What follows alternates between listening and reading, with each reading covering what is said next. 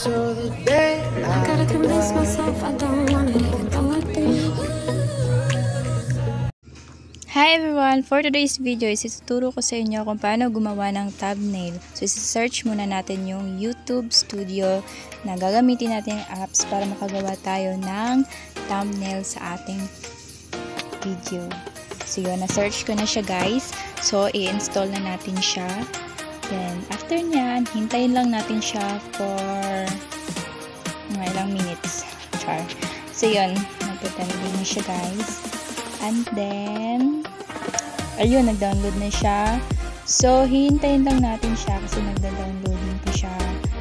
So, medyo mabagal yung wifi natin ngayon kasi nga maraming nakakonect. So, hintay-hintay lang tayo guys.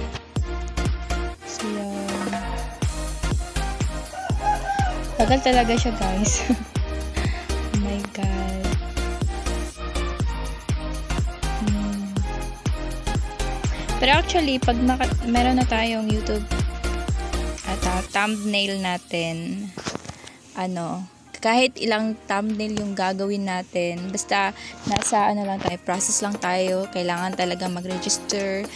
Basta marami pang mga proseso guys para magkaroon talaga ng thumbnail para ma ma-verify yung ating ano YouTube channel. So, yan. Mahina yung wifi natin.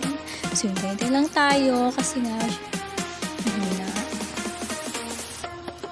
After nito is, is ituturo na natin ko na sa inyo kung paano gumawa ng thumbnail. So, yun. Malapit na siya, guys. Then, Charan! Ayun. Nag-installing na siya. Installing na siya. Oo, ayan. Hintayin lang natin. May lang seconds lang to.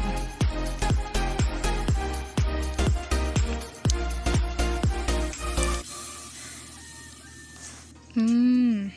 Ayun. Open na natin. Tapos, punta tayo sa, meron na, welcome to YouTube Studio. So, i-click lang natin yung gilid. After nyan is, i-click natin yung gitna, yung get started. So, yun, op open na yung ating YouTube Studio.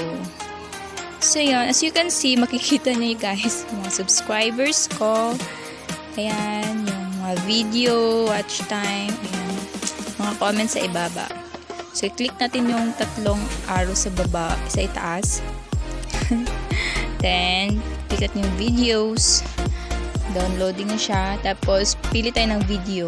Nalalagyan natin ng thumbnail. So, ito yung video na hindi ko pa nalagyan ng thumbnail. So, yan. Naglo-load pa siya.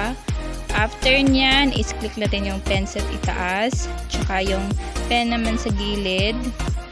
So, yun na wrong. Ayan siya, guys. Kita na natin. Tapos, andyan, punta tayo sa select. After nyan is merong mga nandun yung files, recent files. So, ayan, may ginawa na akong thumbnail, guys. So, yan yung ginawa ko. At saka, isi-save na natin siya. So, hintayin lang natin siya, guys. Ayan. Edit, save. So, punta tayo sa ating YouTube app, YouTube channel natin. Titingnan natin kung andun na ba. Kung kompleto na ba siya, na nalagay na ba. So, punta tayo sa ating channel. Then, ayun guys, nakita nyo naman. Yan yung ginawa kong ano,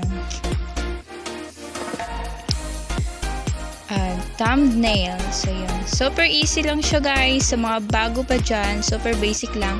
Kailangan lang natin sundin yung mga step by step on how to make a thumbnail. So, yun lang guys. Thanks for watching.